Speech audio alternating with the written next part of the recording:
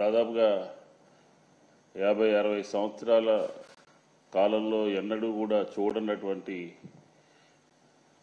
వరద మొట్టమొదటిసారిగా విజయవాడ నగరాన్ని దాదాపుగా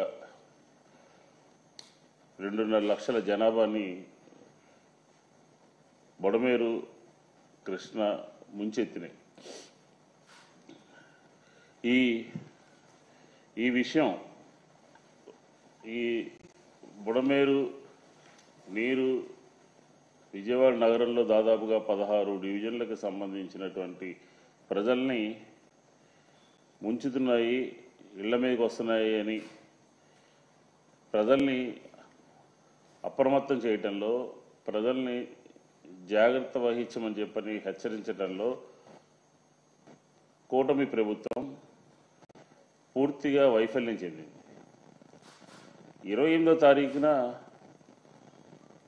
వాతావరణ పరిస్థితులు రాష్ట్ర ప్రభుత్వానికి తెలియజేస్తే ఒకటి రెండు తారీఖుల్లో వచ్చేటటువంటి ఈ వరదల్ని ముందుగా అధికార యంత్రాంగం కానీ లేకపోతే రాజకీయ మూడు రాజకీయ పార్టీలు కానీ ఎక్కడ కూడా ప్రజల్ని ఆ బారిన పడకుండా కాపాడలేకపోయాయి.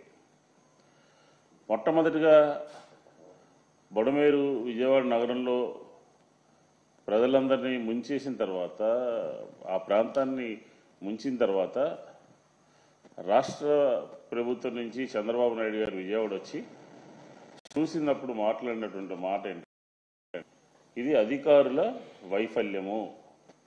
అధికారుల తప్పిదము అని చెప్పని మాట్లాడారు.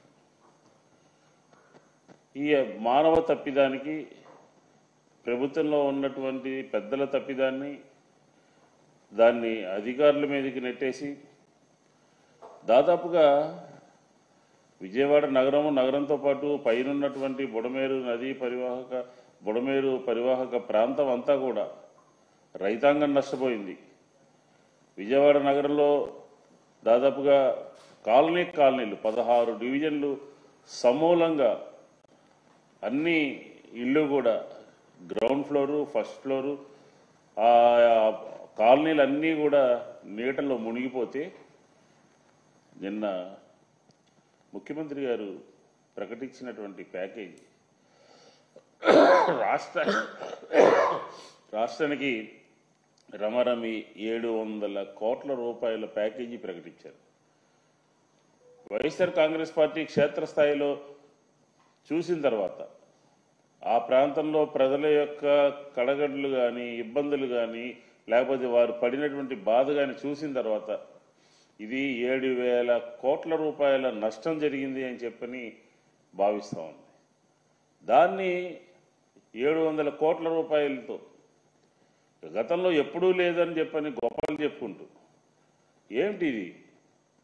ఒక ఇల్లు మునిగిపోతే ఒక గ్రౌండ్ ఫ్లోర్ మునిగిపోతే పాతిక వేల రూపాయలు ఇస్తారా? పాతిక వేల రూపాయలతో ఆ గృహంలో ఉన్నటువంటి నష్టపోయినటువంటి సామానుల జాబితా ఒకసారి ఎప్పుడైనా మీరు పరిశీలించారా? మంచం పోయింది పరుపు పోయింది స్కూటర్ పోయింది ఆటో పోయింది లేకపోతే ఇంట్లో వంట సామాను పోయినాయి ఫ్రిడ్జ్ పోయింది ఏసీలు పోయినాయి. సమూలంగా నష్టం జరిగితే గతంలో ఎప్పుడు ఇవ్వలేదు? గతంలో ఎప్పుడైనా సరే ఇంత పెద్ద యాభై సంవత్సరాల ఆంధ్రప్రదేశ్ చరిత్రలో కానీ విజయవాడ చరిత్రలో కానీ ఇంత పెద్ద ఎత్తున నష్టం జరిగినటువంటి వరద వచ్చినటువంటి పరిస్థితి ఎప్పుడైనా ఉందా?